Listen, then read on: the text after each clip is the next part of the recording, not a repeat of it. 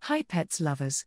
Today we will be talking about a blind cat that gets love and fame over the distances. The infection removed his both eyes. Meet Dimitri Greek cat who was rescued by a lovely Londoner lady. Dimitri get a strong sense to smell and hearing after he got blind. He also uses his paws to read the room. He found his best loyal friend despite his blindness. Dimitri is followed by millions of people on TikTok. Zero Eyes, One Big Heart is TikTok bio which describes everything. Though Dimitri may not see you later, he might hear from you, or smell you around, or keep in touch. Thank you for watching. Please like, share, and subscribe to get more from us. See you in the next video.